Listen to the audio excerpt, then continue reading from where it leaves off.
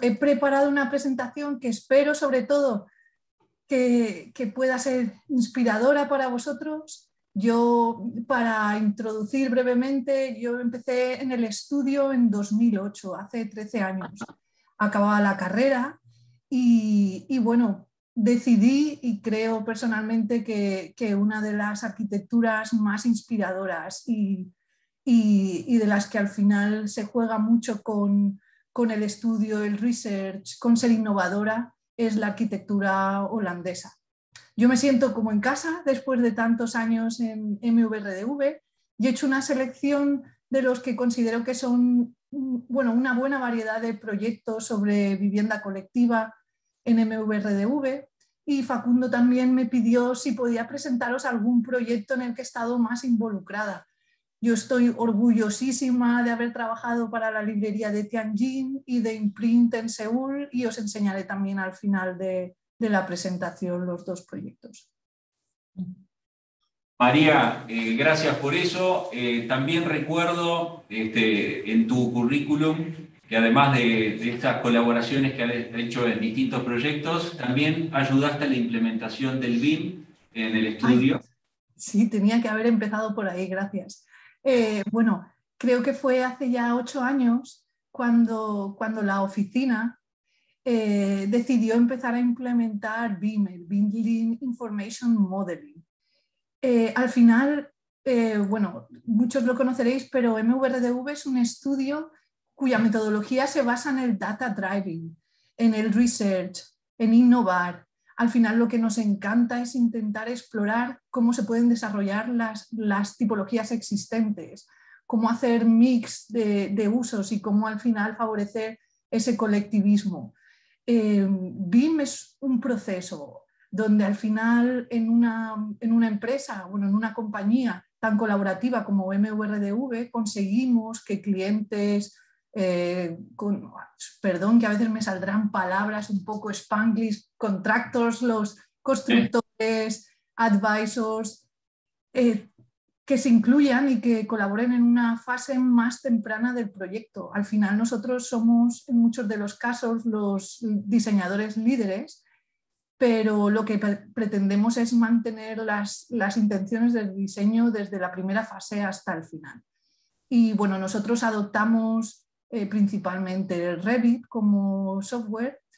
He trabajado con Autodesk, muchos de nuestros colaboradores también trabajaban en Revit y yo os invito a que, a que nos unáis, os unáis a, a nosotros, que enviáis solicitudes para, para, entrar a MVRDV. Lo que os puedo decir es que Revit o cualquier software para trabajar en BIM es una de las cosas que, que tenemos en cuenta porque nos, nos, encanta trabajar con la data, nos encanta poder hacer simul, simulaciones, monitorear nuestros proyectos y, es un proceso colaborativo y tiene unas herramientas que nos ayudan a ello.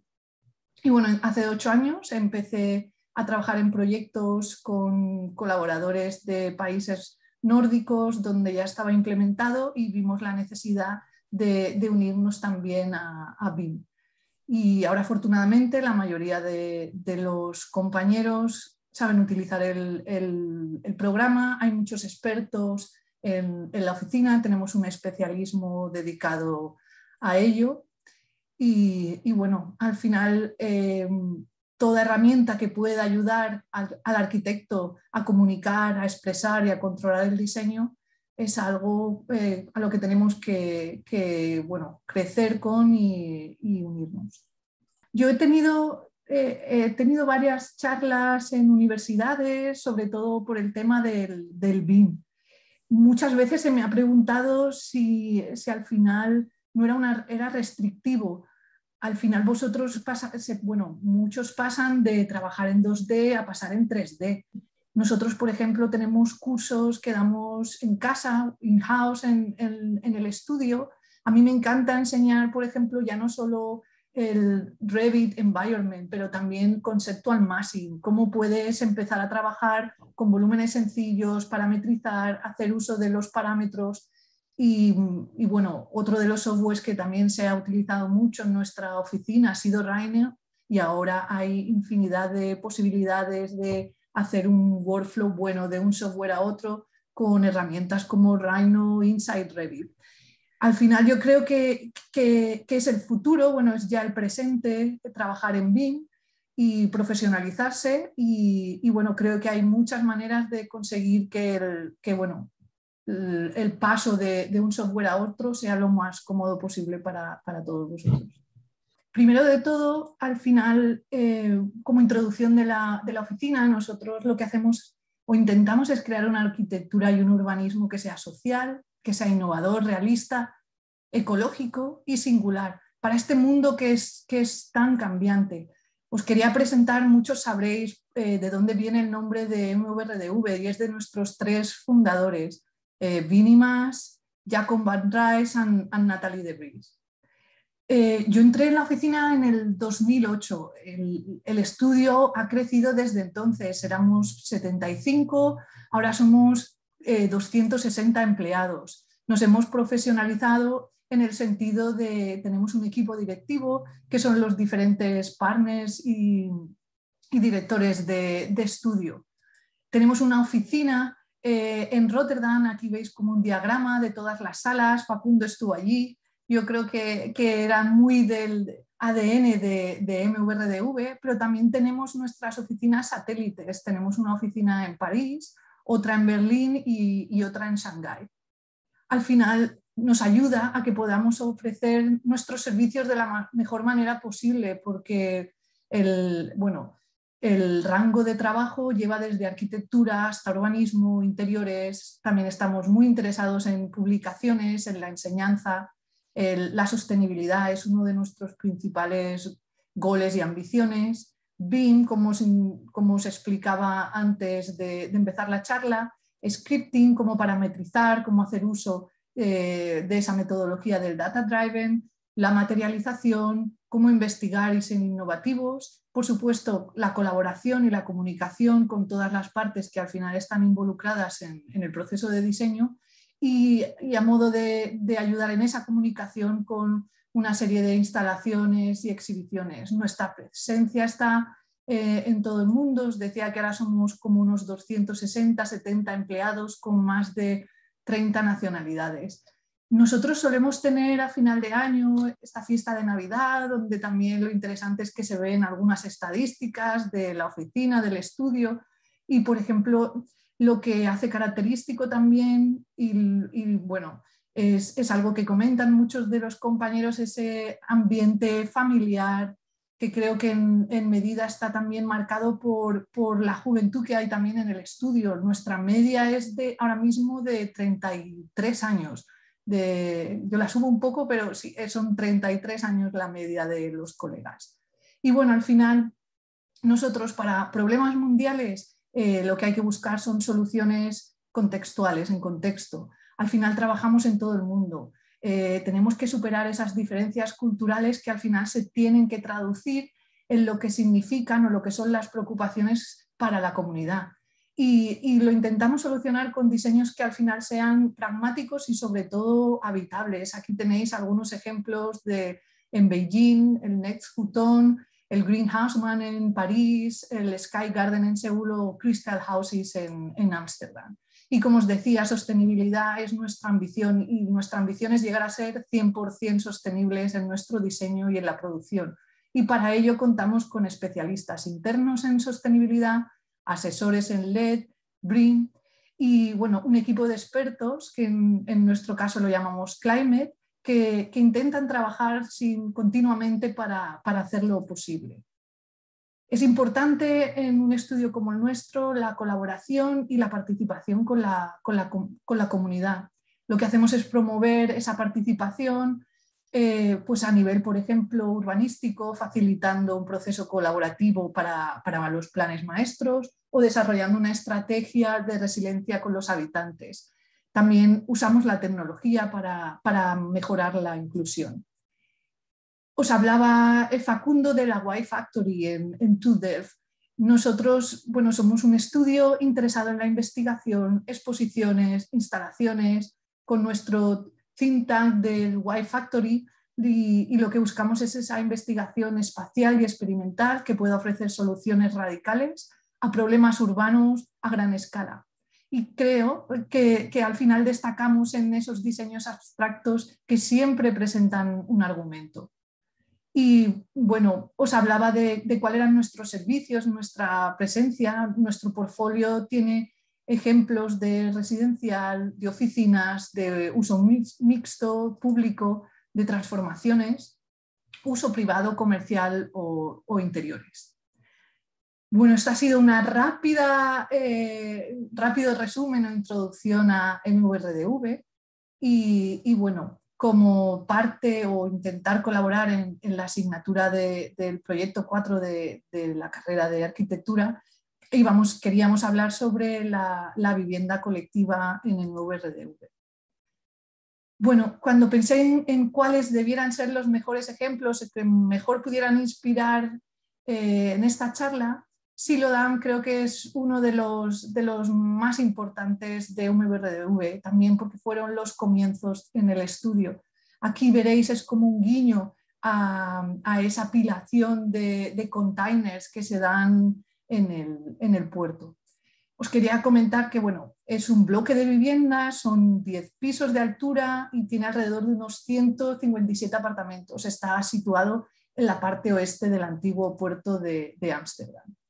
El río, que este es el río Ig, sirvió como puerto de Ámsterdam en la Edad de Oro, pero cuando cayó en declive, los astilleros y los almacenes, ellos dejaron de funcionar, dejaron de utilizarse. Pero fue allá como en la década de los 80, cuando había una escasez de, viviendas en la ciudad, se llevó a cabo todo un proceso de transformación del puerto. De repente la ciudad recuperó ese interés por el potencial del río y fueron los diseñadores los que intentaron fusionar las estructuras existentes con, una nueva arquitectura. Aquí veis está la situación del, del Silo Dam, se sitúa en la, punta del, muelle, junto a dos, bueno, dos antiguos almacenes que se dedicaban a cereales, estaban reconvertidos, y el edificio se concibió para densificar el centro de la ciudad lo que pasa es que, claro, esto llevó a una mayor operación porque al final la presa, se tuvo que crear una presa con un aparcamiento subterráneo, se tuvieron que renovar los antiguos edificios de los silos, hubo una combinación que fue, bueno, fue requerida de mayor eh, número de viviendas sociales a un bajo precio. También se tuvo que crear un dique de protección subacuático por, contra los barcos petroleros y al final con, una con la consecuente cimentación profunda a base de, pilotes. Y lo que entenderéis como una costosa construcción temporales, que se llama, bueno, eh, polder, que al final es este término holandés de cómo ganarle terreno al agua, en lo que ellos son, son expertos. Y bueno, fue en los años 90 cuando, ese, cuando el mercado inmobiliario lo que estaba exigiendo era una combinación de tipos de vivienda, pero también una mayor individualidad. Para nosotros el desafío principal fue cómo combinar y cómo organizarlo en un bloque de viviendas. Los bloques en este momento estaban eh, abiertos a, incluso a la discusión política y, y al final lo que decidimos era basar en una organización eh, de cuatro torres que tuviera la flexibilidad de, combinarse. Al final lo que nos llevó fue a diferentes tipologías. Hay viviendas, oficinas, hay taller en planta baja y en el resto de, las plantas es todo vivienda. Aquí veis, por ejemplo, cómo la presa se saca a través del edificio y se convierte en una gran terraza eh, con vistas al río. Aquí, bueno, veis, es, eh, bueno, es un screenshot de, las publicaciones donde podéis ver que hay una gran diversidad de tipologías, desde viviendas panorámicas hasta pequeñas galerías, áticos, casas con patio, pequeños estudios, restaurante, un puerto. Al final hay como cuatro o ocho unidades del mismo tipo que se organizan juntas y que se entienden para nosotros como pequeños barrios en este bloque que, si no me equivoco, son como unos 20 metros de, profundidad. Para nosotros era importante cumplir con requisitos de luz natural para cada tipo de barrio y que a la vez, eh, como consecuencia, nos llevó o provocó diversas cantidades de acristalamiento en la fachada. Los barrios, como, como llamado antes, al final eh, varían en tamaño, varían en profundidad, desde la mitad del, edificio con pasillos pues, de doble ancho hasta, hasta, cubrir completamente esos 20 metros de, de profundidad. Y al final, como resultado, lo que apareció fue como una secuencia casi para nosotros inesperada de rutas semipúblicas. Desde las galerías de un lado se puede caminar a través de rendijas y pasillos hasta las galerías del otro lado, incluso más arriba. Al final lo que hacemos es conectar todos los departamentos con balcones públicos, con el puerto, con el jardín y generando como un barrio tridimensional. Como os decía, ese guiño al principio de este contenedor de, casas. Eh, bueno, y cuando, como os decía en toda la discusión, qué tipo, tipo de viviendas eran las necesarias, también por supuesto estuvo una discusión económica. Y al final esta curva que mostramos aquí de Gauss lo que acompañó fue a esas diferentes demandas, a esas demandas cambiantes. Si debiera haber más pisos de dos dormitorios o duples y cuántos menos se ocuparían. Y bueno, al final acabó con la serie de tipologías que os mostraré. Y bueno, aquí podéis ver en fachada, al final es un reflejo de estos diferentes barrios, los podéis reconocer en, fachada, como por ejemplo los áticos que tienen esos paneles prefabricados de, hormigón y marcos de madera, los apartamentos para personas mayores que los diseñamos con un acabado de fachada de madera y el puerto deportivo con una fachada de hormigón. Aquí veis un, detalle de, de, la fachada, las diferentes plantas y la estructura hacia el río. Y, cómo se materializó, al final para nosotros era también importante reconocerlo. Y quería enseñaros también un poco cómo funciona en, el interior, porque ese concepto de los distintos barrios, donde más visible se hace es en, los corredores, en los, pasillos. Eh, lo que intentamos fue que no fueran todos iguales, que, tuvieran diferentes colores para reconocer cada tipo de barrio, cada departamento. Aquí podéis ver los diferentes colores que se ampliaron, cómo se aplicaron en esos diferentes eh, barrios, en, los pasillos, y que al final indicaban las, diferentes agrupaciones de tipologías. Aquí veis algunas imágenes de, pasillos de doble altura donde, había diferentes, donde hay diferentes tipologías y el paso por cada uno de, ellos. Bueno, aquí para que veáis también una singularidad es esa zona del puerto deportivo que al final lo que permite es que a los habitantes que tienen embarcaciones pudieran tener acceso también a través de estos grandes pilotes a, su vivienda. Y luego este espacio eh, es el restaurante abajo, que en la parte superior lo que genera es una, terraza pública, como os indicaba al principio, que había, se había como sacado del, volumen de Silodam. Y bueno, eh, quería enseñaros algunas imágenes de, la variación de, tipologías. En Silodam tenemos eh, viviendas para, personas más mayores, estaban, eran menos flexibles en el sentido en que estaban, están distribuidas con mayores particiones para las diferentes áreas, pero siempre eh, generando un espacio exterior, un balcón o una galería como se ve en esta dispositiva para bueno, generar o aumentar la, colectividad. Pero también tenemos viviendas que son viviendas panorámicas, donde hay vistas en ambos lugares. Existen también loft que son individuales, que tienen la entrada accesible individual a ellos, que se pueden generar, también se generan en dos alturas a modo de, duplex con algunas variaciones en, la tipología como veis aquí y algunas de las imágenes interiores de, esta tipología. Al final se generan vistas panorámicas a, una zona que estaba completamente desactivada, que ahora es una de las mejores vistas en la ciudad de Ámsterdam. También se generaron espacios como estos lofts que pretendían ser más flexibles que pudieran llegar a em, emplearse como vivienda o incluso si se deseaba como, como espacio de, trabajo. Eh, en algunas de las viviendas, por supuesto, la estructura necesaria también eh, genera o, bueno, determina la, organización del propio espacio. Y, bueno, con accesibilidad en algunas de ellas a terrazas o como por ejemplo las viviendas patio, donde el patio se, insertaba o era una parte más de, la vivienda como espacio exterior. Aquí hay algunas imágenes que podéis ver desde el patio, desde la, desde la cubierta. Otros ejemplos, por ejemplo, de atelieres, aunque bueno, en este, en este caso también decidieron eh, emplearlo más como, como vivienda, pero sobre todo generar eh, flexibilidad en cada una de las, de las tipologías que, presentábamos. Y bueno, aquí tenéis una, vista de, general del, del Como ha dicho Facundo, sí, luego habrá una parte de, preguntas, eh, pero bueno, me gustaría ir a, eh, por más proyectos.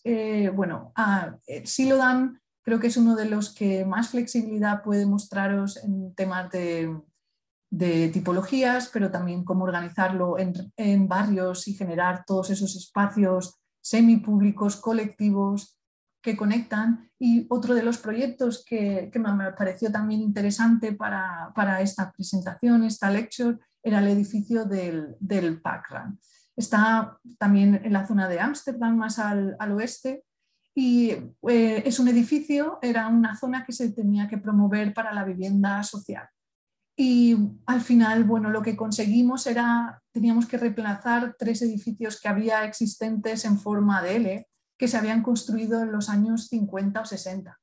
Yo creo que, bueno, aquel que, que conozca la oficina también sabrá el estudio que, bueno, nuestra manera de comunicarnos muchas veces es a través de lo que llamamos este storyline, estos diagramas que suelen enseñar cuál era la situación existente y cómo hemos llegado al concepto eh, o cómo explicar ese concepto. Aquí lo que veréis es que para nosotros lo que era crucial era intentar mantener las áreas verdes de esta zona.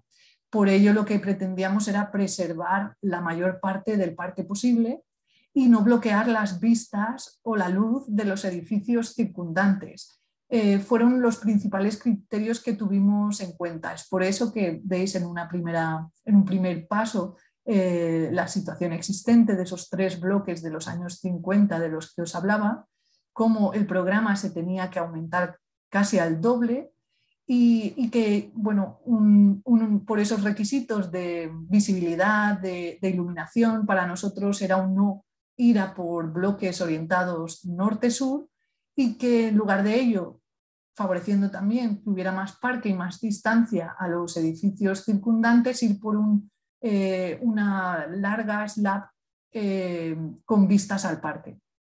De aquí lo que hicimos fue ese compacto bloque, eh, generar un bloque más sólido con 24 metros de, profundidad, pero creando como unas aperturas, unos vacíos de luz y de aire, eh, generando al final este bloque perforado, eh, bueno, conocido o que llamamos background. Aquí veis la planta de cómo se distribuye, la planta de situación, cómo nos alejamos, generamos vistas al parque, pero nos alejamos de los edificios existentes. Y, y bueno, una imagen general donde al final lo que podéis ver es que son cinco torres que están separadas, pero están conectadas por ese zócalo de dos pisos en, plantas bajas y por los áticos, otros dos pisos en la parte superior. Al final lo que generamos es un bloque abierto y aireado que está ofreciendo diferentes vistas desde todas las direcciones. Aquí veis cómo esas perforaciones, esas aperturas que, creamos en el bloque al final lo que permiten es que los edificios desde el otro lado de la calle se vean incluso a través del, edificio hasta el. He añadido también algunas imágenes para que veáis cuáles son las tipologías. Este es el caso de una vivienda duplex eh, con salida al balcón, también cómo se soluciona en las, plantas altas, en esos dos niveles de, ático que conectan las cinco torres.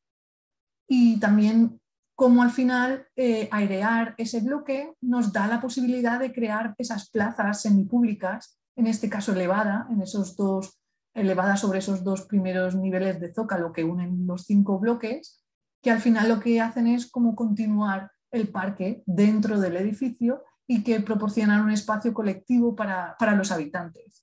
Está amueblado con grandes árboles, candelabros, parques infantiles, lámparas y, mobiliario de, madera.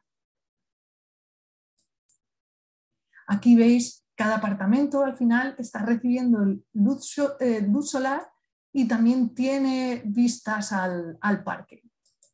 Y bueno, luego para nosotros también es importante eh, cómo caracterizar el edificio, la elección de los materiales, el revestimiento. En este caso, por ejemplo, lo que se enfatiza es la relación con el contexto. Las fachadas exteriores, las que son hacia la calle, eh, están terminadas con paneles de hormigón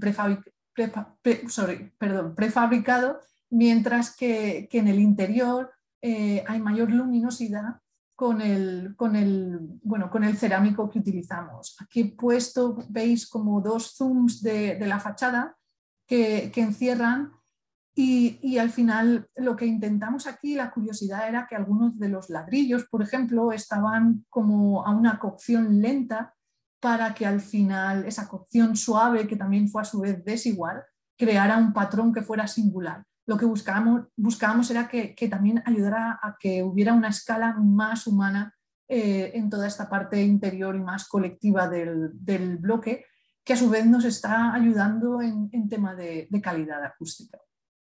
Y aquí veis una imagen más general de, de Run hacia el parque. El siguiente proyecto que os, quería enseñar, bueno, está en construcción, no sé si habéis visto, habéis seguido por, nuestro, bueno, por nuestro media el, progreso, pero bueno, creo que es también interesante eh, presentaros de Valley. Eh, bueno, MV, RDV y OVG, que es el Real Estate, nosotros fuimos seleccionados por el municipio de Ámsterdam para que desarrolláramos una de las parcelas del, distrito comercial de Zuidas. Para que sepáis, es un distrito que es, bueno, eh, hay sobre todo eh, oficinas, es un, distrito bastante densificado y, bueno, al final para nosotros el proyecto nació con el objetivo de, realizar un edificio multifuncional. Aquí vais a ver, hay, hay un mix de oficinas, de residencias y de equipamientos, servicios. Cuando empezamos un proyecto, por supuesto, cuando os hablaba al principio de eh, solucionar problemas eh, eh, globales con soluciones contextuales, siempre nos preguntamos qué, ¿Qué, faltaba? ¿Qué se echaba de menos en este distrito? ¿Cuál sería el skyline eh, necesario en, este barrio? Y, bueno, lo que vimos también era que en ese sentido, ya no solo a nivel del skyline, eh, qué tipo de arquitectura o qué tipo de diseño, pero también qué podíamos incluir. Para nosotros era muy importante añadir un espacio vital verde al distrito, porque era bastante raro, como veis en, el plano de situación, en esta zona de Ámsterdam. Nosotros muchas veces, y, cuando vosotros empecéis en, vuestra carrera profesional, muchas veces hay restricciones que vienen ya dadas por la municipalidad, eh, por, bueno, por la ciudad, por restricciones a modo urbanístico. Esta fue la envolvente del edificio que, nos facilitó, que, nos dio el municipio. Eran tres torres con un zócalo eh, y e, era nuestra base, nuestro, nuestro punto de partida.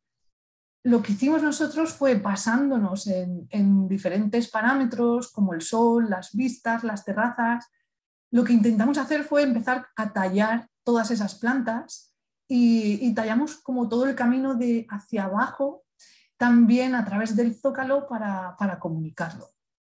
Aquí veis, eh, bueno, al final eh, cómo, se, cómo acababa ese trabajamos también mucho con maquetas físicas, ganar la escala para la creatividad, cómo fue el, desarrollo, cómo ha pasado de la envolvente a, toda la, generación de terrazas y de espacios exteriores de, de Bali. Al final, bueno, eh, estos son varios pasos para explicaros, sobre todo programáticamente, cómo funciona el, el proyecto. Tenemos las tres torres, lo que hicimos fue incluso darles conexión al, bueno, a, nivel de calle para que la gente pudiera acceder eh, a unas partes más públicas de las terrazas, lo que llamamos el public valley, o sea, una accesibilidad a, ese nuevo espacio verde. También tenemos, un, debido a las funciones, también lo que generamos, lo que llamamos el groto, conexiones que dan, que dan paso al interior, generar los accesos para, para bueno, bicicletas, coches, logísticas, el, delivery y, también un cultural program que activará la zona. Hay también retail, eh, bueno, comercial, restaurantes, un sky bar, oficinas y al final como, bueno, en las plantas superiores hay como un 55% del programa que son viviendas. Aquí tenéis eh, el overview. Pero para nosotros uno de, los puntos más importantes eran esos, esos jardines que, que dieran una nueva zona verde al barrio y al final generasen un, un, un barrio activo. Aquí, bueno, os enseño algunas de las plantas, cómo se desarrollan desde el groto que os mostraba a cómo se empieza a generar el acceso desde el, al plinth eh, de las zonas verdes a través de cada una de las plantas y cómo se desarrolla. Así al final, eh, y bueno, lo veréis también en otras imágenes, el exterior del edificio lo que hace de algún modo es reflejar ese entorno de business district, em, empresarial, con esa fachada de, muros cortina de vidrio, pero en el interior lo que estamos haciendo, y lo hicimos junto al arquitecto paisajista Pete Uldorf, es diseñar paisajes. Al final, de valley para nosotros es un gradiente de, vertical de verde y que hacia el interior el, el lo que tiene que ver es con jardines y con zonas verdes. Os quería mostrar también que fue muy importante para el diseño fue cómo pasamos de lo que se considera una fachada estándar a empezar a generar diversidad y calidad para, el espacio eh, habitable. Lo que hicimos fue intentar tener parámetros en cuenta como la privacidad, una, bueno, una, exposición óptima de la fachada de cada uno de los, de los habitáculos de la vivienda, ese, bueno, esa inclusión de, espacios verdes en la fachada. Y como al final todo ello genera ese paisaje, eh, valles eh, en esta zona mucho más eh, como business district en, el área. Aquí podéis ver una de las imágenes que mostraba antes como de cuando diseñamos y lo que creo que es interesante también ver para vosotros es cómo al final y tengo que decir, este es un proyecto en BIM, hemos podido controlar, racionalizar, estandarizar el diseño y al final eh, ahora os mostraré imágenes también del interior, de cómo, cómo se diseñó este groto, la parte de comunicación más pública, el acceso del plinth a todas las zonas verdes, pero cómo ha avanzado la construcción y cómo la similitud de la nueva obra al, diseño de, MVRDV. Estas son unas de las últimas imágenes, unas semanas atrás, y, del perfil del Vale, todas estas diferentes terrazas. Recuerdo, esto fue también un trabajo eh, al principio también con la consultoría, la ingeniería, con ARU, cómo parametrizar. Teníamos, eh, bueno, cientos o miles de opciones de cuáles podían ser las diferentes orientaciones y al final lo que hicimos es, eh, bueno, lo, que hicimos fue una script, lo parametrizamos de manera que, hubieron diferentes reuniones para saber cuáles eran los parámetros que teníamos que considerar eh, más, si era un tema de coste, un tema de, luz, de privacidad y al final como resultado eh, bueno, generamos esta, este vale eh, teniendo en cuenta los parámetros más importantes para todas las partes involucradas. Y como os decía, eh, sigue reflejando el carácter del, barrio con ese muro de cortina cristalado, pero una escala más humana, más verde en el interior.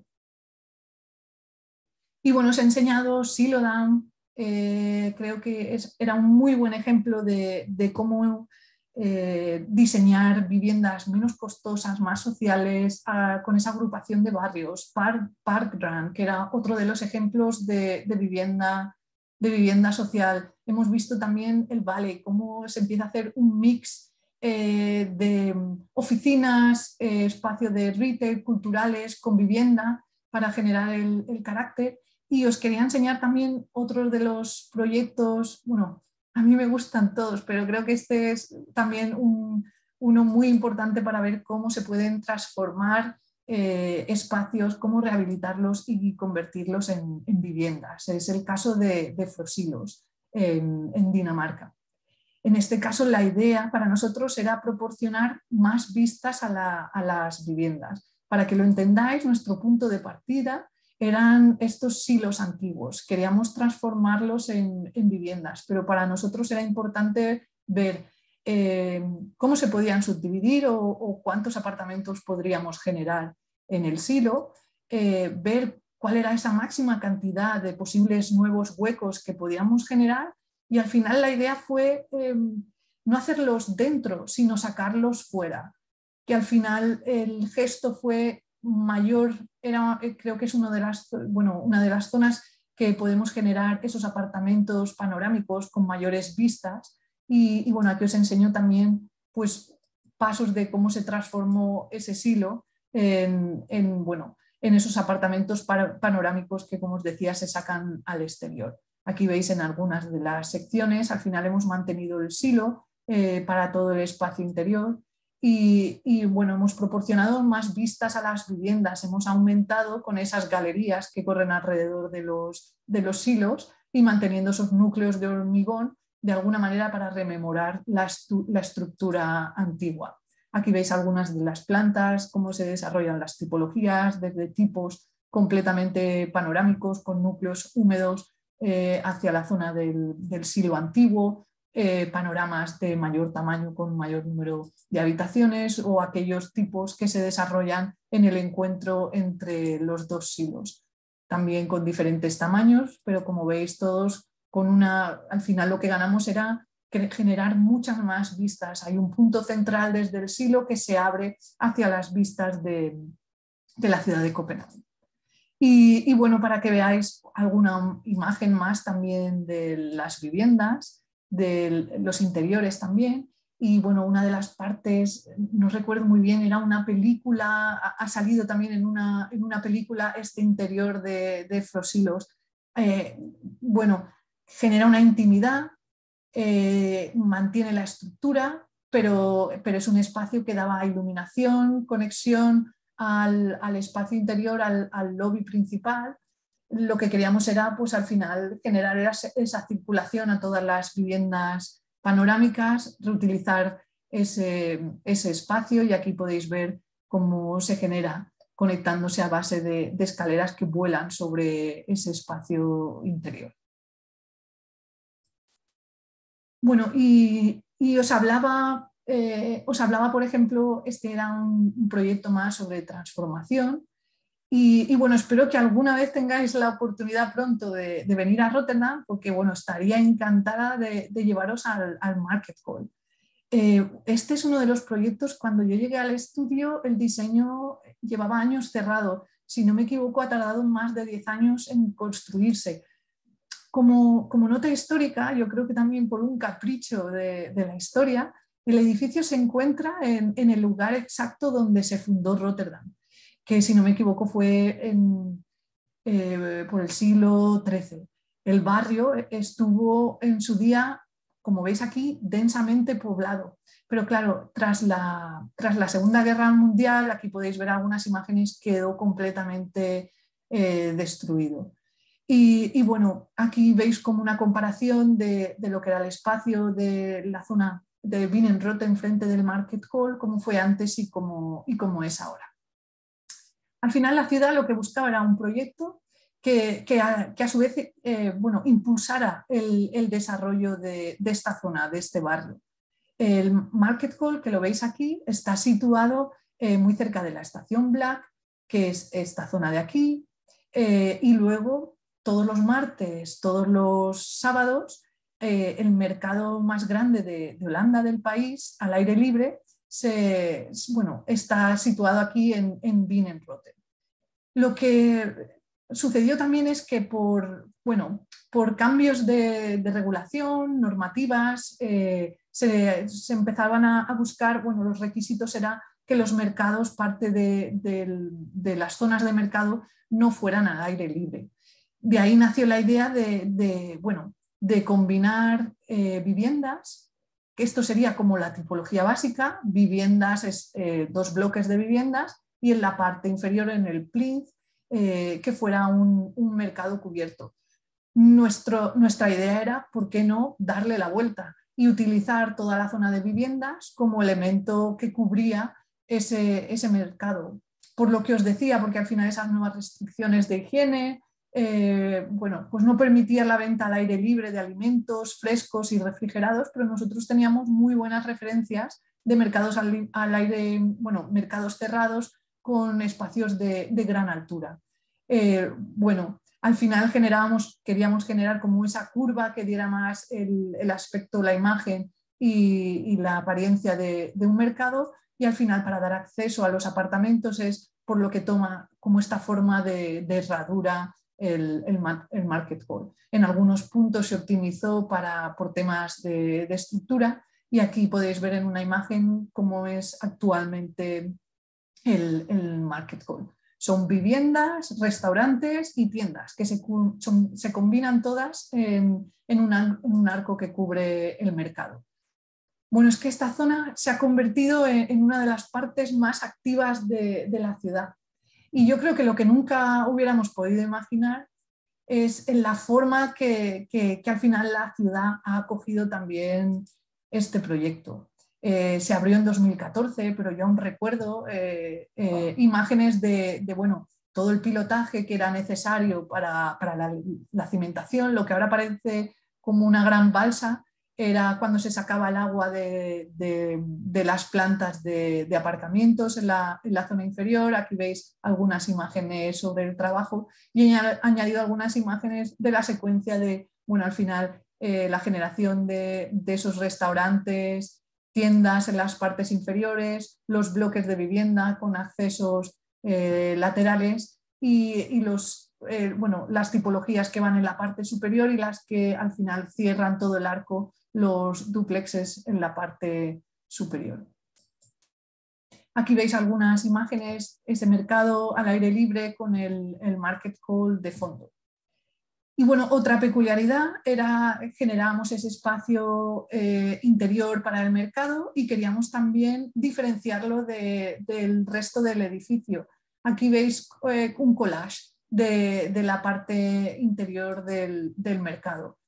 Bueno, se cubre por ese mural, que en este caso fue diseñado por los artistas eh, Iris Roxman y Arno, Kuhnen, Em, bueno, como yo recuerdo cuando, cuando estábamos con este proyecto, eh, recuerdo que era, era difícil encontrar un ordenador que pudiera generar una imagen tan grande de alta definición y de alta calidad como esta. Yo creo que al final se tuvo que recorrer a, si no me equivoco, píxeles, eh, programadores y, aquellos que están, son los que al final hacen películas como Toy Story y que tienen la tecnología suficiente, porque al final todo esto así se desarrolló en los paneles eh, eh, de aluminio que, cubren todo el interior del, mercado.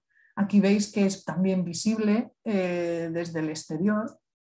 Como curiosidad, para que tengáis la escala, es similar en superficie al, espacio de, un campo de fútbol. Y aquí, bueno, como os decía, al final ha sido un, mercado con mucho éxito. Yo creo que también, pues al final es un espacio eh, que se puede visitar cualquier día, que está lleno de gente, familias, niños. Eh, bueno, hay diferentes tiendas, espacios, restaurantes donde tomar. Al final, con, con, el, con el collage, la imagen eh, como base. Y, bueno, esto era en el interior, pero en el, en el, exterior lo que buscábamos era una mayor integración. Entonces, nuestro concepto, la idea era que, que la fachada lo que hiciera fuera continuar el pavimento de, de calle en, en, toda la fachada.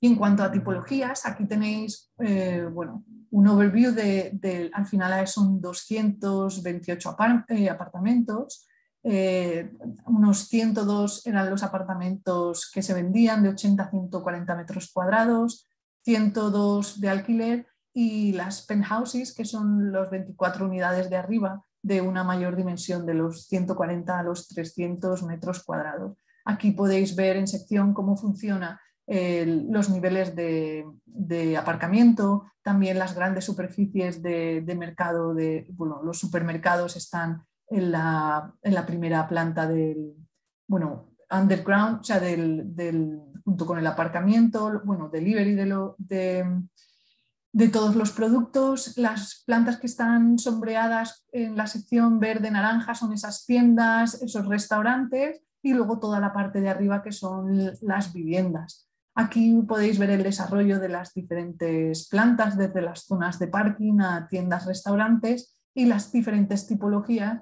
que se desarrollan en el market hall.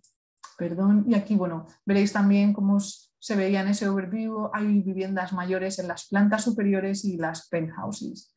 Aquí veis algunas imágenes de las vistas que se generaban en la catedral, que fue de los únicos edificios que se mantuvo después de la Segunda Guerra Mundial, espacios interiores, eh, esas vistas, veis en el fondo de la imagen cómo se conecta directamente, tienen vistas al mercado desde la vivienda, que hay más imágenes de cómo la tipología también coge la forma del arco interior del, mercado y, bueno, creo que también interesante sobre todo en las plantas superiores, en los duplexes, ellos tienen eh, una conexión visual directa con el mercado, como podéis ver en esta imagen. Es como, bueno, es un suelo de, triple acristalamiento que, te está conectando visualmente al mercado. Y aquí una imagen, bueno, general del, del, market code. Otras imágenes del collage y, y bueno, como curiosidad también explicaros, los accesos a las viviendas son en estas fachadas laterales y también son entradas secundarias al mercado interior. Y bueno, eh, también quería enseñaros un proyecto, yo soy de España, no de, no de Madrid, de Valencia, pero creía que era también interesante enseñaros otro ejemplo de, de vivienda colectiva en Madrid, bueno, al final, si veis aquí en, la planta de situación, al final este San Chinarro era, es un barrio que se empezaba a generar, si veis, por todos estos eh, bloques de, patios. Y, bueno, nosotros al final lo que intentamos era, era crear un, nuevo barrio que fuera distinto a ese tipo de, bloques. Esta es una imagen de lo que se esperaba o, lo que se buscaba eh, en esa zona para nosotros lo que era importante aquí, veis, al final es también como una parte, un nuevo icono del, barrio, que parecido en el sentido al, oh, perdón, eh, parecido en el sentido del Silodan, también jugamos con esa diferenciación de fachadas por tipologías, de materialización, y para nosotros el concepto era, ¿por qué no ese, ese bloque que, era el típico del barrio de la zona, ¿por qué no eh, bueno, convertirlo en un, barrio vertical, en un bloque vertical y al final ganar en ese espacio verde que se generaba aparte del hueco que tenemos en, el mirador, el espacio del mirador que al final lo que genera es una plaza pública elevada. Aquí tenéis algunos ejemplos. Bueno, aquí es una distribución de cuáles son las diferentes tipologías que conforman el mirador el, acceso y la circulación que marcamos en, fachada a, través de la materialización con, ese color rojo eh, tan evidente. Algunos tipos que podéis ver aquí, eh, eh, bueno, tipologías más pasantes, más panorámicas, bueno, algunas tipologías que son también que bueno, generan espacios para mayor distribución, menos metros cuadrados, pero en ese sentido también generando diferentes agrupaciones por, las diferentes tipologías. Algunas imágenes de, la construcción, de esas cerchas que eran las que salvaban la plaza pública elevada, dando ese hueco, eh, bueno, al final caracterizante del mirador algunas otras imágenes y aquí cómo se distribuye y cómo funciona y se conectan cada uno de los diferentes agrupaciones dentro del, espacio del mirador. Estas son algunas de las imágenes, cómo se accede a esa circulación general, los espacios interiores, accesos a diferentes plantas, algunas de las vistas, como es al final un sistema continuo de, circulación, por supuesto, nosotros al final muchas veces intentamos, pretendemos, eh, bueno, o al menos eh, lo intentamos si, hay alguna posibilidad de acortar, de, generar espacios, eh, bueno, incluso más interesantes, como si tuviéramos un escalator que directamente te conectase desde la plaza pública a la plaza eh, colectiva del, mirador. Aquí una de las imágenes del espacio. Bueno, el mirador lo lleva ya en su nombre, es, una de las zonas con una de las mejores vistas del barrio hacia la ciudad de Madrid. Y una imagen eh, nocturna para que vierais también esa diferenciación en fachada. Y bueno, eh, os he enseñado proyectos en Ámsterdam, Dinamarca, y, este es uno de los proyectos en los que yo personalmente también he trabajado y creo que era interesante para vosotros que vieras, y es el Future Towers en, India, en, Pune. En este caso aquí nosotros lo que hicimos fue que en lugar de elegir un tipo de edificio eh, habitual para este proyecto de vivienda, que, bueno, al final tiene uso mixto porque son eh, viviendas con parte de equipamiento, pero lo que hicimos fue diseñar una estructura que se asemejara más a, una formación de paisaje con sus picos, valles, cañones, bahías, grutas y cuevas que, como veréis, conectan todos los diferentes espacios. Eh, he de reconocer que aquí uno de los principales desafíos y, bueno, lo interesante también, nos queríamos diferenciar en algún momento o brindar más calidad a los espacios que generábamos que, únicamente extruyendo eh, torres, como podéis ver en esta zona de aquí eh, cercana al barrio. Al final lo que, lo que generamos era una variedad de equipamientos interiores y exteriores para que se fomentara también la vida social y, que, esa generación o creación de, comunidad. si veis, hay como diferentes espacios de dobles alturas, espacios mayores que, promueven o que buscan esa colectividad. Aquí veis algunas de las imágenes desde esos diferentes espacios.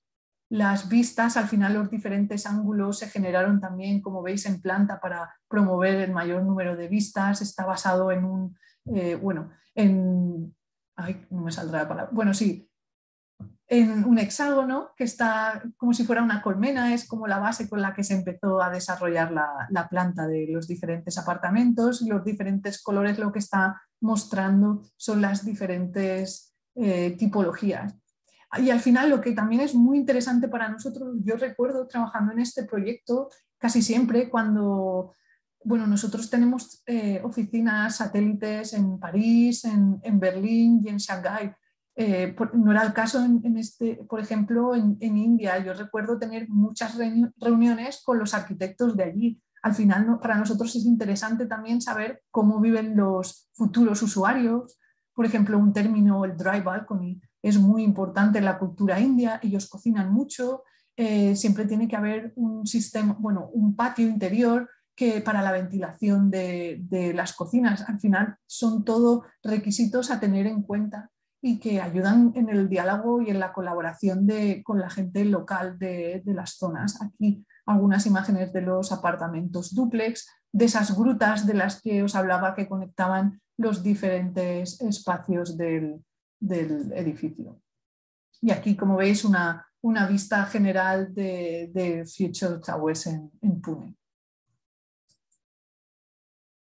Y bueno, creo que voy bien de tiempo eh, y, lo que os quería enseñar al final, he seleccionado diferentes ejemplos para que vierais, pues bueno, eh, al final yo creo que la vivienda ha sido uno de los principales focos para, para MVRDV.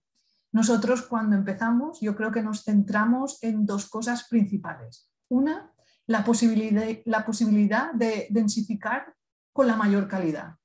Y la otra, también la posibilidad de, ofrecer más variedad y encontrar lo que nosotros llamamos el, dream home, el, hogar ideal. Por ejemplo, en Silodam, que ha sido el primer proyecto que, os explicaba, diseñamos numerosos apartamentos de estilos diferentes y los agrupamos en esos mini barrios. Pero con el tiempo hemos estado trabajando para avanzar también en la posibilidad de que los habitantes, de, que esos futuros usuarios eh, sean capaces de personalizar sus viviendas. Y para ello hemos seguido experimentando. Aquí os voy a enseñar lo que fue también una publicación de MVRDV y de Y Factory, en las que presentamos dos herramientas que son el House Maker y The Village Maker, donde es la gente, los futuros usuarios, los que pueden co-crear torres hechas de casas individuales y de, de, forma libre. Y para introduciros un poquito antes a, estos dos programas, eh, al final eh, este bueno, salió como resultado de un estudio que se nos pidió sobre las ciudades asiáticas. En los últimos 70 años han empezado a generarse torres masivas losas, bloques que están construidas al final a base de la repetición de unidades de, vivienda y que de algún modo han estado invadiendo las ciudades, han estado demoliendo los pueblos urbanos existentes que habían estado evolucionando durante, durante cientos de, años. Al final nosotros lo llamamos el, el block attack.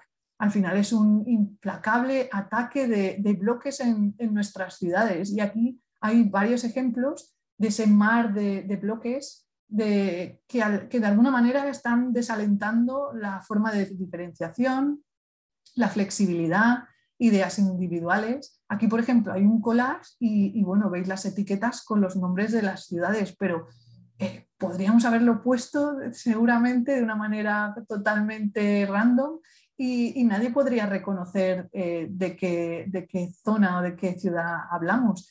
Igual os preguntáis, bueno, pero los interiores son diferentes. Eh, generalmente no. Conceptualmente todos tienen planos similares, dos, tres dormitorios, cocina independiente, salón con vistas, y, parece que es así como, como debiéramos vivir todos. Y, es que si vamos al interior, pues el mismo estilo de muebles, eh, bueno, eh, igual puedes elegir el color, tienes alguna cierta libertad, pero pero, pero no mucha.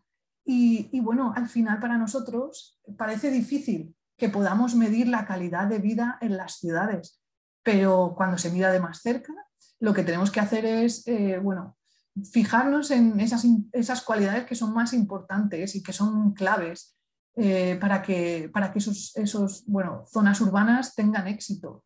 Y, y, al final es para nosotros muy importante la expresión de individualidad, pero también con un cierto grado de colectividad. Y, todo ello creo que al final que se pueda desarrollar de una manera más informal, flexible y, por supuesto que tenga en cuenta la densidad y por lo tanto esa masa crítica que, para la diversidad, la escala humana es importante.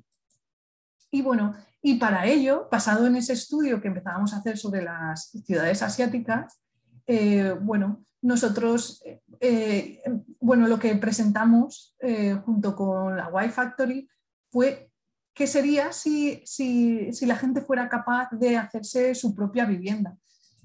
Puede que no resulte tan innovativo y que haya aplicaciones de este tipo estos días en todas partes, pero para nosotros era sobre todo un estudio de la posibilidad que alguien entrara, pues bueno, están estos, hay compañías muy grandes que también te dan la posibilidad de generar tu propio espacio, cocina, amueblarlo. Nosotros lo que hicimos fue en base a, diferentes parámetros, tamaño, tipología, material, eh, forma, eh, incluso cuáles eran las, maneras de generar privacidad.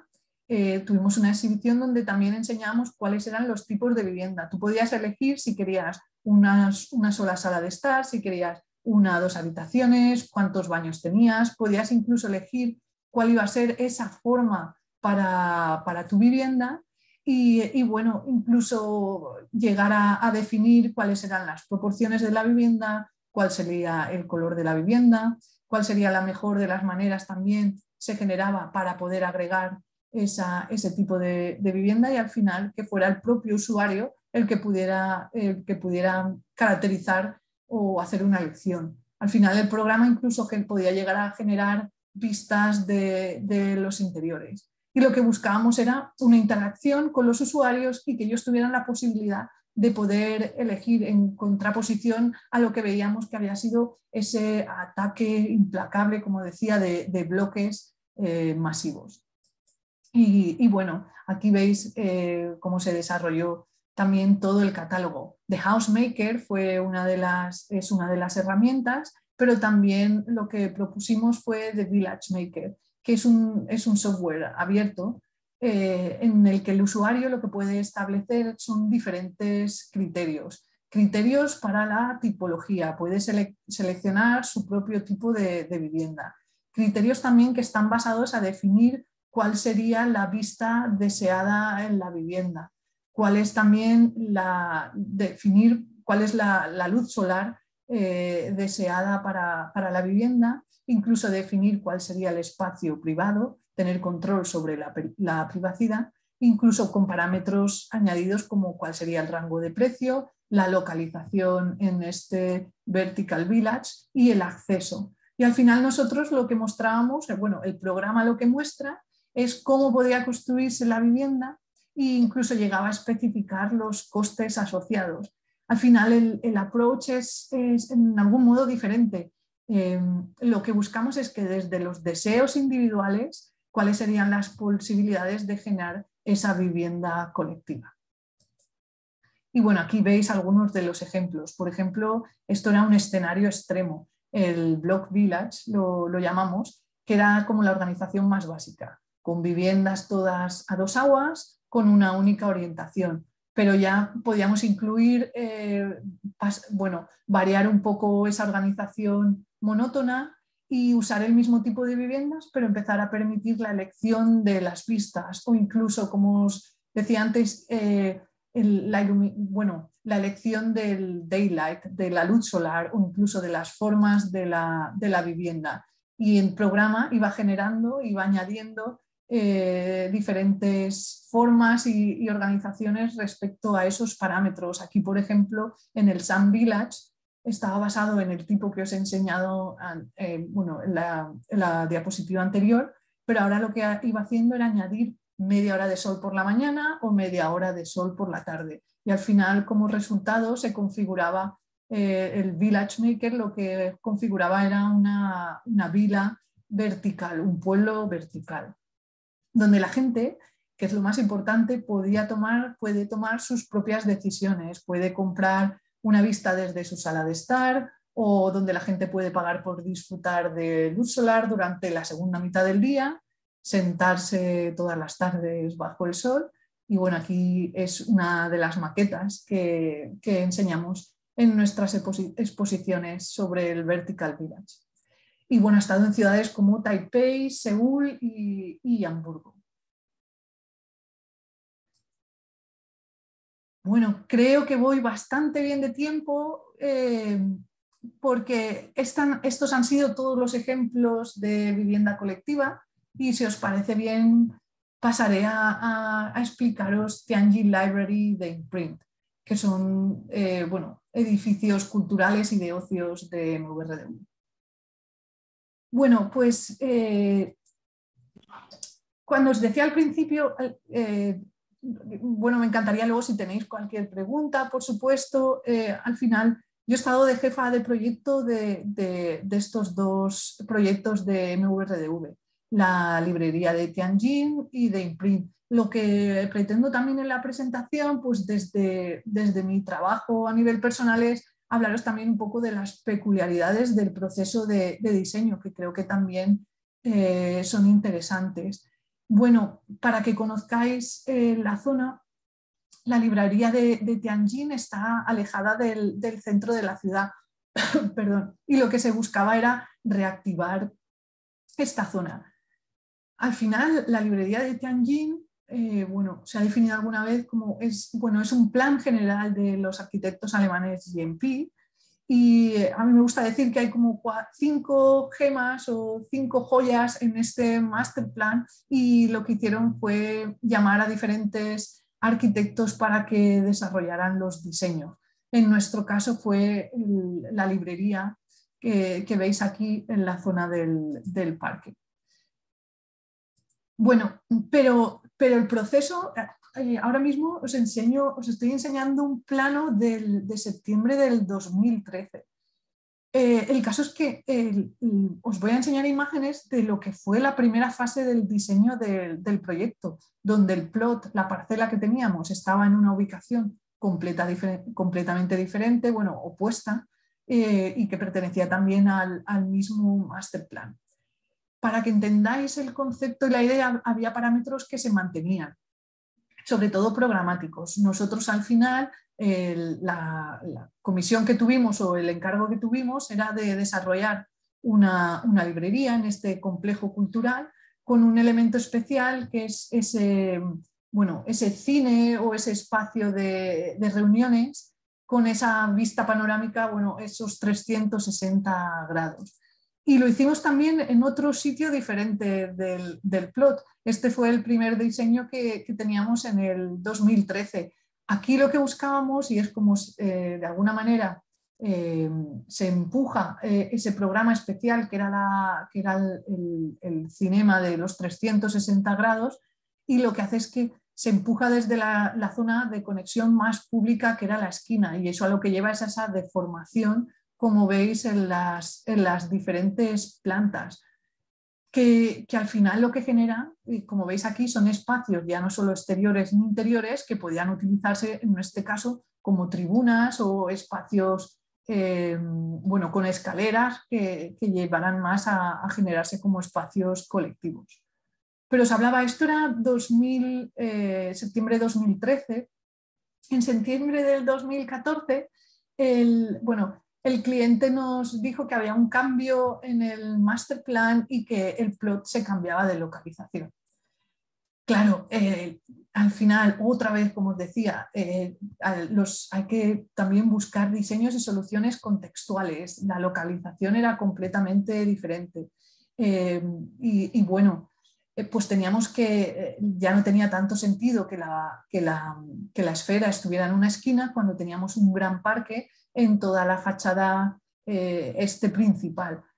Pero cuando ya estábamos buscando un nuevo bueno, concepto similar, pero una nueva solución para, el diseño, fue entonces cuando en enero del 2015 volvió a haber un reajuste programático y de cómo iba a ser el, el plot que bueno, afortunadamente fue el definitivo y es la localización y donde está construida ahora la librería. Bueno, al final, eh, sí, hay ciertos procesos que pueden tener, sobre todo yo, yo que he trabajado en proyectos asiáticos, es increíble la velocidad, eh, pero también es increíble la cantidad de personas involucradas en el diseño y en las decisiones y eso lleva muchas veces a, cambios programáticos de localización de, los proyectos que conlleva para nosotros como arquitectos un trabajo extra. Y os quería, bueno, eh, enseñar también esta storyline. Nosotros al principio, como habéis visto en la planta de situación, es, bueno, está rodeado por, por ese pasillo cultural, cultural corredor que lo llamamos, y el, y el parque. Lo que, lo que hicimos fue teniendo en cuenta la cantidad de programa que teníamos que alojar en la parcela que se nos había proporcionado, extruimos esa superficie 30 metros.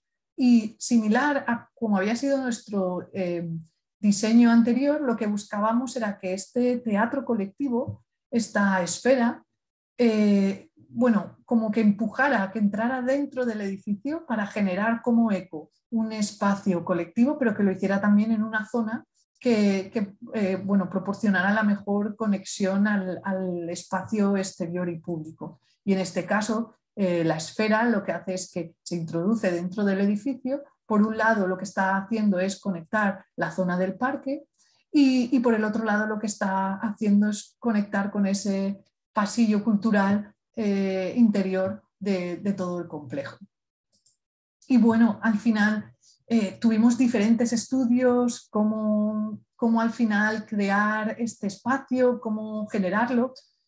Yo creo que al final, bueno, eh, los tiempos de las librerías, como las conocíamos antes, de alfombras, de espacios, eh, claro, necesitan su privacidad, pero, pero, con toda la tecnología que hay hoy en día, pues era algo que queríamos explorar.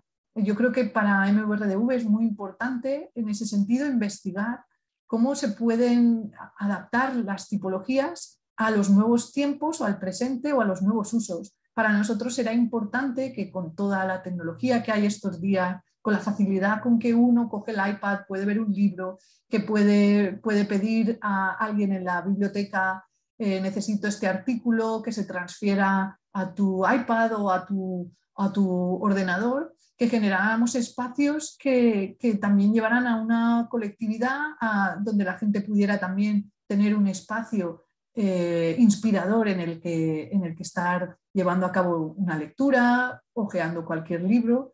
Y, bueno, y queríamos que, que, al final fuera también generando ese tipo de, de espacio. Es por eso que al final se genera este eco como irregular alrededor de, de, la, de la esfera para que al final nos dé la posibilidad de, generar diferentes, dentro de este atrio colectivo, diferentes zonas para diferentes usos.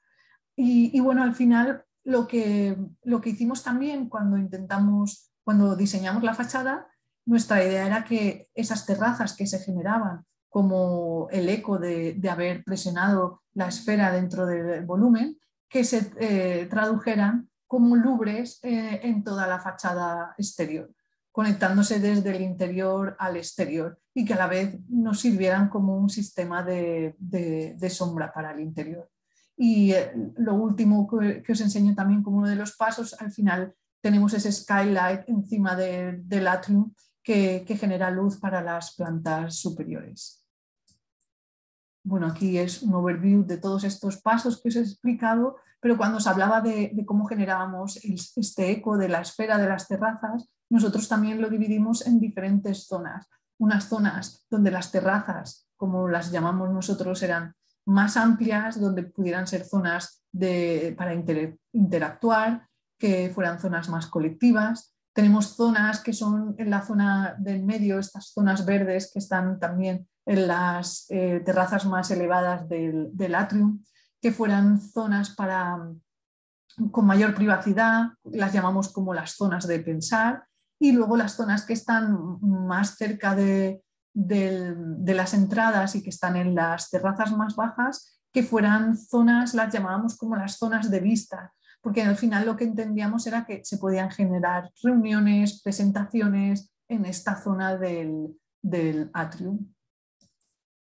Aquí os enseño, bueno, en la parte de abajo, en el, en el basement, eh, bueno, lo que tenemos es una zona de, archivos para muchos de los libros que tiene la biblioteca, la, planta superior que tiene la zona de, bueno, al final em, que habréis visto muchas imágenes también de la zona del atrium, pero a los lados son zonas más, más privadas para, zonas de lectura también por, por edades. Hay una zona aquí, la inferior, que es para zona de niños, también hay una zona para, para gente eh, bueno, de movilidad reducida, gente mayor, que se alojan también en la, primera planta.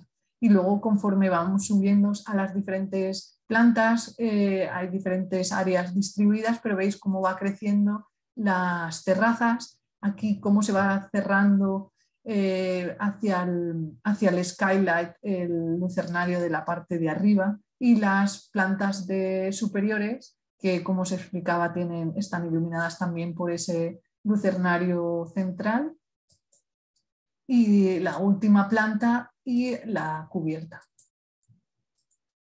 Y bueno, esto, eh, bueno, imagino, por supuesto, eh, todo proyecto es un desafío en muchos sentidos, pero yo recuerdo que, que aún estábamos en una fase de diseño con reuniones con clientes para definir muchos de los puntos de, sobre todo de ese espacio interior, y ya estaba la cimentación. Esto es 2015. O sea, había unas limitaciones a nivel estructural porque la cimentación, la estructura del edificio ya estaba calculada. Nosotros al final, nuestro concepto principal era que generábamos esas terrazas que servían como estanterías para los libros, que, que bueno, a su vez desdoblaban y, subían por la parte de arriba y buscábamos que fueran también accesibles desde los espacios interiores. Me refiero desde este espacio interior tienes accesos a todos estos libros de aquí y desde las plantas de arriba puedes tener acceso a la librería desde, desde el otro lado. Eso, por supuesto, significa eh, bueno, un cálculo estructural que contemple, que contemple ese diseño. Y este era el estado eh, en el que estábamos del edificio casi cuando aún se estaba discutiendo todo con el cliente. Aquí, bueno, era el momento en que la cercha se subía a las plantas más elevadas y, eso al final era una limitación completa de, las posibilidades de acceso a las, a, las diferentes bueno, terrazas o estanterías. Bueno, y, por supuesto hubieron también cambios. Eh, por ejemplo, al final lo que nosotros generábamos era una esfera eh, para ese teatro de 360 grados. La materialización era importante también para nosotros. ¿Por qué no enfatizar más ese eco con un, bueno, con un acabado eh, que reflectara, o sea, que reflejara el espacio? Bueno, aquí os enseño una de las visitas eh, todo el andamiaje, toda la situación y bueno, al final eh, diferentes decisiones. Eh, bueno, nosotros lo tomamos todo con positividad, os enseñaré imágenes que todo es muy parecido, pero no, eso es algo que perdimos, no conseguimos que, fuera un acabado de, espejo. Al final se fue por un panelado con luces LED incluidas en el, en, la, esfera para, proyectar imágenes. Y bueno, eh, por supuesto, en cualquier proyecto, desde el concepto, en la fase de diseño, la realización, pues eh, hay cambios, ajustes. Yo recuerdo en una de las visitas, esta es una de las imágenes que nosotros presentamos al cliente, cuando realmente ves que, es casi literal a lo que nosotros teníamos en en el diseño en ese sentido se pudo mantener mucho de la, de la, bueno, la geometría que, que, nosotros habíamos diseñado. Os enseño algunas imágenes que no sé si habréis visto, creo que estas no están publicadas, de, de bueno, para que tengáis un poco de escala de, del edificio y de, la, y de la fachada. Aquí imágenes de noche, si no me equivoco, son cuatro kilómetros de luces LED para todas las estanterías del, del espacio interior, también cómo se llevaba a cabo eh, limpieza de las partes eh, superiores. Esta es la entrada que, da al espacio cultural y aquí podéis ver algunas imágenes de, todo este paisaje que al final generamos. Yo os puedo decir que, bueno, nuestra intención, por supuesto, era activar, es un edificio cultural, nunca esperábamos, y recuerdo cuando fue el opening, eh, la gran acogida de, la gente. Aquí tenéis imágenes que, bueno, no hay mucha gente, pero yo realmente he estado allí y, bueno, eh, creo que sobre todo en su momento, si no fue una de las imágenes que más estaba en cualquier media, Instagram, Facebook, al final hemos creado un espacio muy, muy fotogénico. Y, bueno, aquí veis pues eh, ese desarrollo de las diferentes terrazas, estanterías, de cómo sobre todo la parte inferior hay esa accesibilidad de, a, los, a los libros, algunas otras imágenes del interior, del detalle, como os decía, esa, lo que pretendíamos continuar las estanterías interiores con los lubres de, de, fachada y alguna, alguna imagen de, bueno, como al final os hablaba de esos espacios, unos más de lectura, de interactuar, de, de, bueno, de contemplación, de ver el espacio colectivo exterior. Y esta es la vista desde el, bueno, desde el corredor y perdón, la siguiente que es ese espacio eh, a la entrada principal del parque. Y bueno, tras eh, eh, esta experiencia en Asia, en China, uno de los siguientes proyectos en los que trabajé fue The Imprint. Eh, por supuesto, y yo creo que es una de las cosas que más agradezco y que más me gustan de trabajar en MVRDV es la cantidad de, diferentes proyectos y de desafíos a los que uno se puede enfrentar en, su carrera. Yo no sé, yo donde estudié no es una tipología que, entre en una tipología de ocio. Eh, a nosotros al final Paradise City eh, está muy cerca del aeropuerto de Incheon. Como curiosidad, por ejemplo, porque a mí me resultó también curioso, eh, los coreanos tienen prohibido, ellos no pueden jugar en los casinos. pero Seúl se estaba convirtiendo en uno de los focos, sobre todo para turistas chinos y de otros países asiáticos, como zona de, juego. Bueno, y es una curiosidad porque compañeros de MVRDV que eran coreanos no podían hacer la visita oficial dentro del casino. Y bueno, eh, lo interesante al final, y como vosotros haréis para vuestros proyectos, siempre hay una parte que es la de research, investigación, y entonces nosotros empezamos a plantearnos qué tipo de arquitectura era la arquitectura de, un casino. Eh, edificios en, Macao, en Las Vegas, Luego también cómo era el tipo de arquitectura, porque es, este, es una de las peculiaridades de, esta tipología, como es un tipo de arquitectura que no necesita huecos, que no necesita una iluminación natural, porque ni los, eh, bueno, en nuestro caso el nightclub o lo que acabó siendo como una zona, un parque temático, eran espacios que no tenían ningún requisito para, para, de iluminación natural las pirámides en Memphis. Aquí creo que teníamos un edificio eh, anónimo que mostraba también cómo podía ser ese tipo de tipología. Cuando empezamos también en paralelo a este research, lo que hicimos también fue un estudio de la zona. Aquí lo que veis, esta es la zona de Incheon del aeropuerto de, de Seúl y está muy, muy cerca del aeropuerto. Es como habrá, hay mucha gente, hay mucho tipo de turismo que lo que hace es volar desde, no sé, Macao, Shanghái, desde otras ciudades, volar directamente al aeropuerto y quedarse en este hotel de cinco estrellas que, que además tiene otros edificios dedicados a exhibiciones, artes y que en este caso también tenía la zona del casino. Esta es la, vista desde el avión de, de la parcela. Pero cuando llegamos nosotros al proyecto ya había un diseño. Eh, lo que pasa es que, bueno, al final, y lo hemos visto en muchos proyectos que teníamos eh, en Asia, es que el, bueno, el cliente también busca eh, atraer al usuario y con un tipo de arquitectura diferente. Entonces, al final, es, bueno, estábamos rodeados por edificios que habían buscado seguir más la, apariencia y el estilo de, edificios que se desarrollan en, Europa, pero aún no era nuestro estilo. Cuando llegamos aquí, bueno, aquí lo he marcado también, estas eran las parcelas o edificios que ya había un prediseño de ellos y que, en los que teníamos que, actuar. Eh, sinceramente, era difícil que esto cuajara con el estilo de MVRDV sobre todo porque yo creo que más para definir nuestro estilo lo que tenemos que buscar son argumentos que, que, al final lleguen a definir por qué tenemos esta fachada, por qué tenemos esta forma o cómo lo, solucionamos. Por eso creo que os lo puedo explicar un poco paso a paso.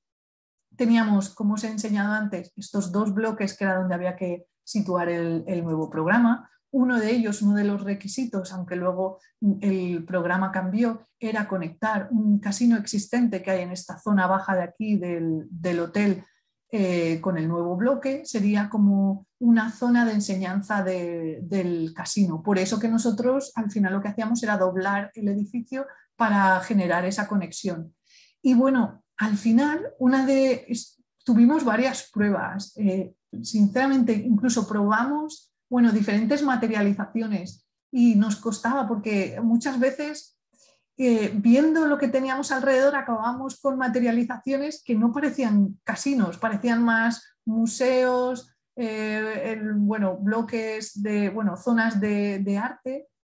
Y, bueno, ante la decisión de cómo encajar o no en ese contexto, surgió la idea de por qué no eh, imprimirlo en nuestra fachada.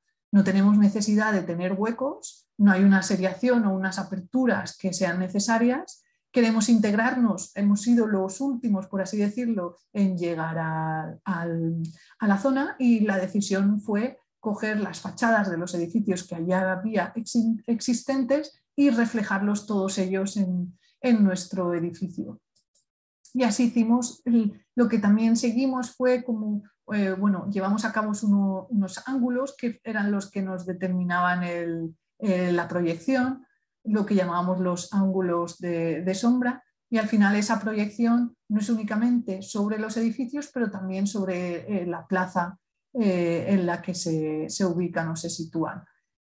Bueno, ese, como esa proyección, ese imprint es en cada una de las fachadas, incluso también en la, en la cubierta y luego la pregunta, la cuestión era de, bueno, hemos moldeado para generar las conexiones eh, uno de los volúmenes.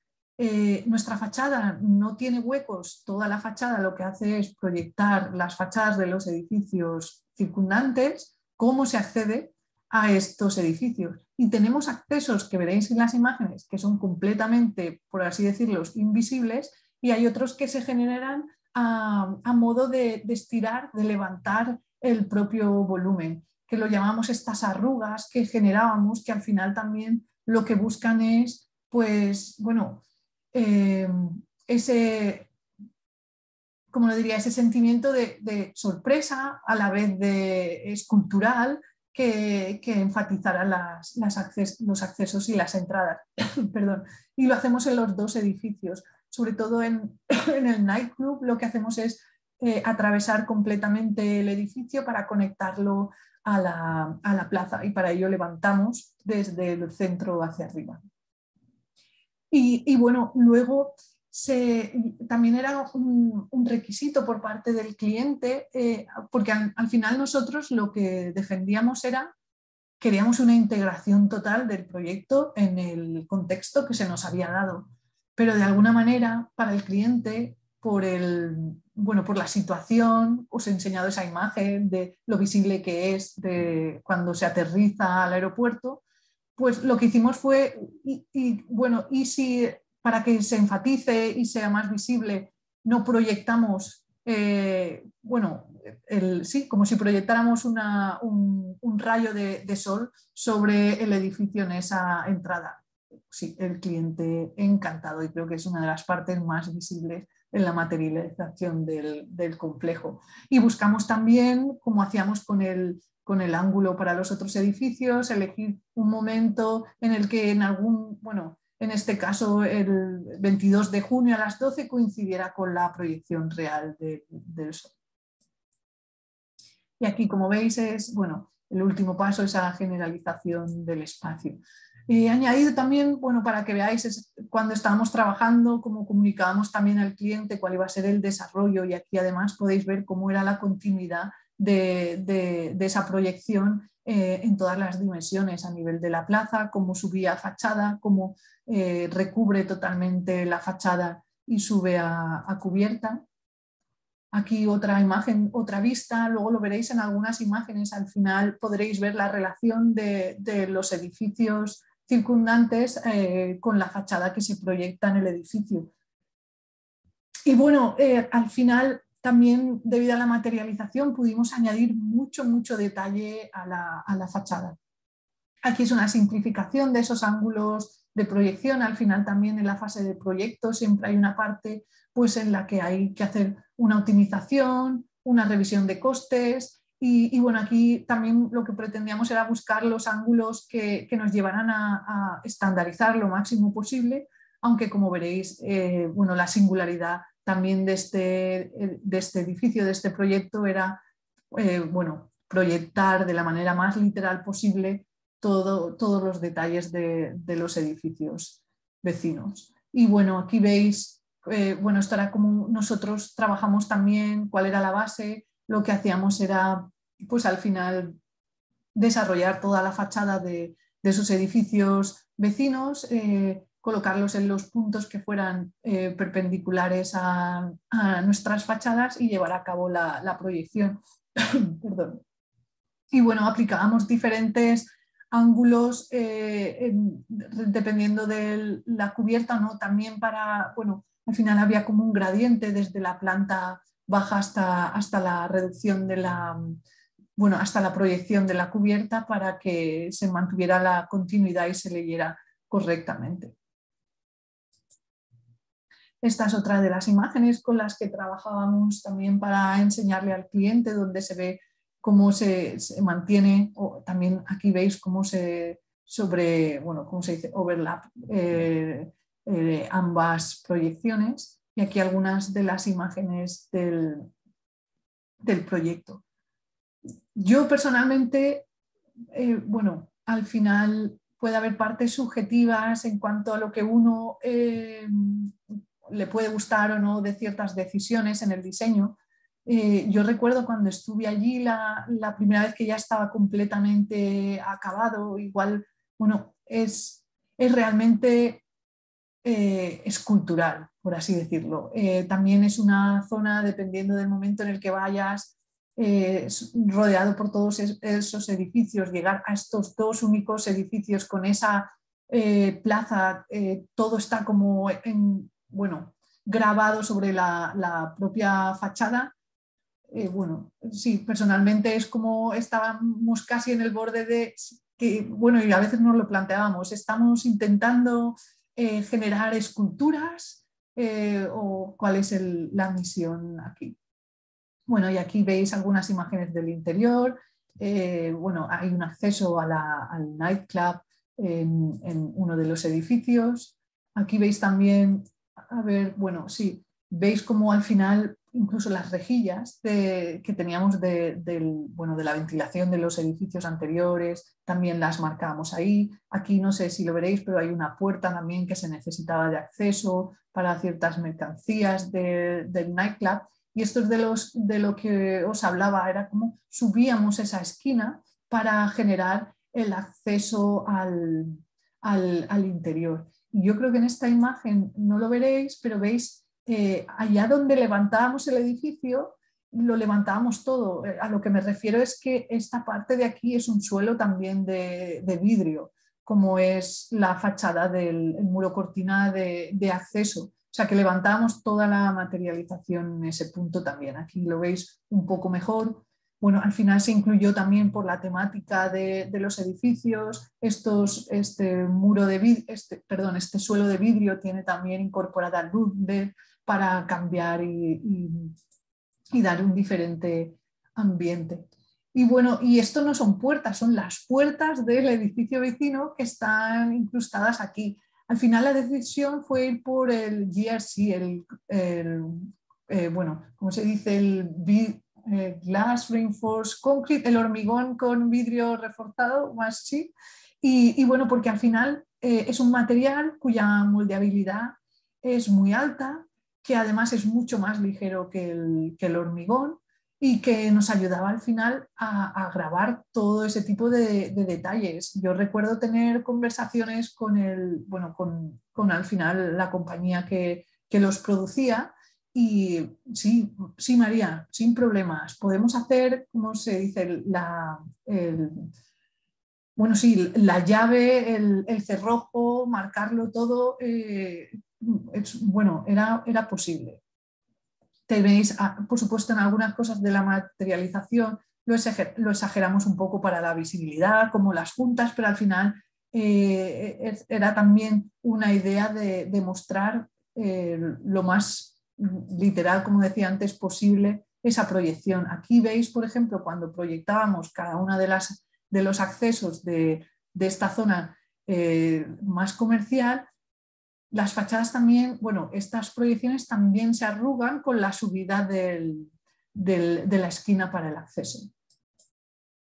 Y bueno, aquí es una de las zonas donde se ve el, cambio de ese rayo de, sol sobre el edificio. Esta era la puerta que os hablaba, que eran como invisibles de, acceso, pero en tiempos muy determinados. Aquí esos cambios, esas luces LED, imágenes también. Otro tema eh, la edificación, sobre todo en esta, era cómo iluminamos este edificio, porque al final lo que queríamos era realzar todo, todo el detalle de, fachada.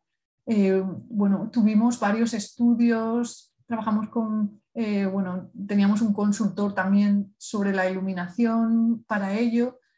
al final lo que, lo que optamos fue, y lo veréis en, muchos, en mucha edificación clásica, en plazas públicas, que esa, iluminación viene desde, desde abajo.